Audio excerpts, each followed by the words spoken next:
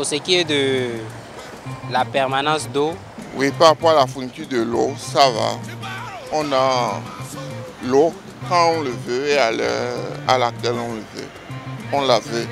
Entre-temps, on avait des coupures par-ci, par-là. Certains jours, ils coupent le- l'eau à partir de 19h comme ça et puis il n'y a pas l'eau.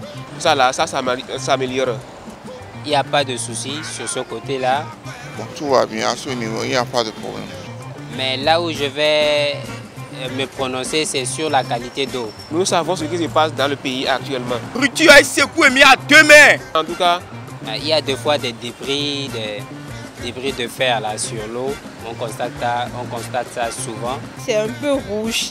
Si la SBE à la SONEB, autant pour moi, peut euh, voir cette situation, arranger la qualité d'eau, euh, tout me conviendra. Quand on va dans les agences pour payer, on remarque qu'il y a plusieurs guichets, mais c'est un seul guichet qui est fonctionnel. Il met trop de temps.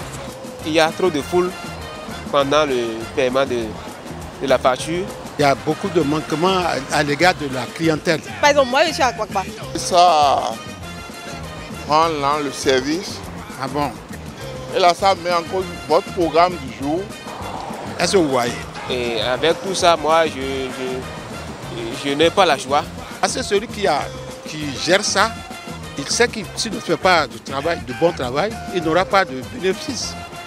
L'appel, c'est que de rendre les guichets qui sont fermés là fonctionnels pour que pour qu'on ne fasse pas perdre du temps aux clients.